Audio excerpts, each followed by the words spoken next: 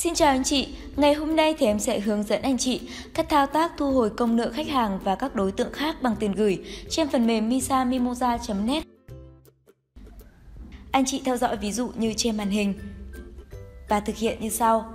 Vào nghiệp vụ tiền gửi, chọn thu tiền, thu tiền gửi, khai báo các thông tin trên chứng từ thu tiền gửi, nhập các thông tin chung về đơn vị nộp, địa chỉ, nộp vào tài khoản và nhập diễn giải.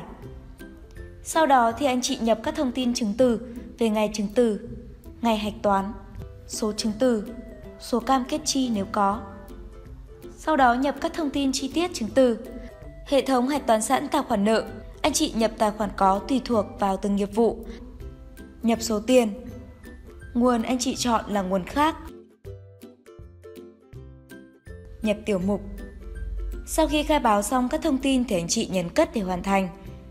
Có thể xem hoặc là in các chứng từ vừa hạch toán bằng cách chọn chức năng in trên thanh công cụ.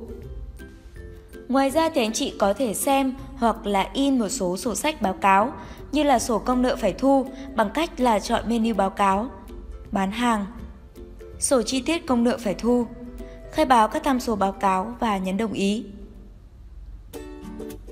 Trên đây thì em vừa hướng dẫn anh chị các thao tác thu hồi công nợ khách hàng và các đối tượng khác bằng tiền gửi trên phần mềm misa mimosa.net 2019. Xin chào và chúc anh chị thực hiện thành công!